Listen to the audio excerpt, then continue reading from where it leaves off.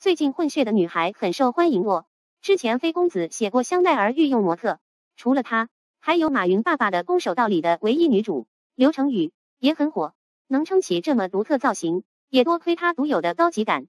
她是九四年的混血儿，妈妈是中国人，爸爸是意大利人，从小就喜欢武术，还跆拳道黑带。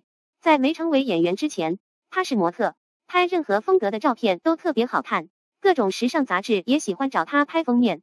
十五年的时候。他参演了《卧虎藏龙二》，雪萍和第一部章子怡的那个角色有点像，眼神很特别，勾人，有秘密。所有的动作戏也都是自己上，招式动作那也是如行云流水般连贯。拍完这部戏之后，杨紫琼特别喜欢他，还特地收了他做关门弟子。《唐人街探案二》里也有他，这次他是漂亮的警花。最近还在好莱坞拍了一部电影《马戏之王》，长相国际，本身演技也不错。相信无论是国内还是国外都会好的发展的。本来混血儿就天生的有种魅惑、漂亮的感觉，但也有的小姑娘长相一开始并不是特别明显。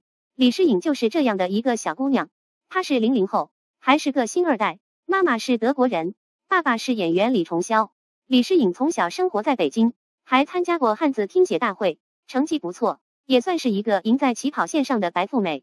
那时她上初中，长相还不是特别的混血。但已经落落大方，不过现在他变成了这样精致妆容的混血脸。不过也可能是人家长大了，是不是？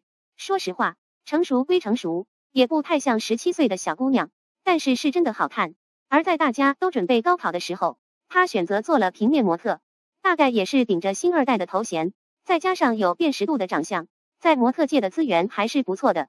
瑞丽就经常找他拍片，各种秀场也能看见他。还给 Dior 拍过视频，就是 A B 和赵丽颖都拍过的那一款。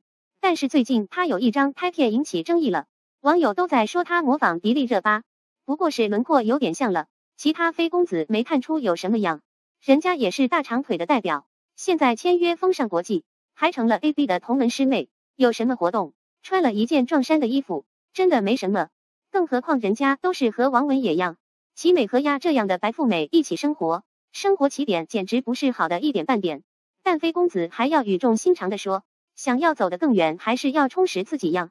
花一样的年纪，除了打扮的和花一样美，还要把自己充实的如玉一样经得起雕琢才可以。要是这朵花过早的谢了，可就不美了。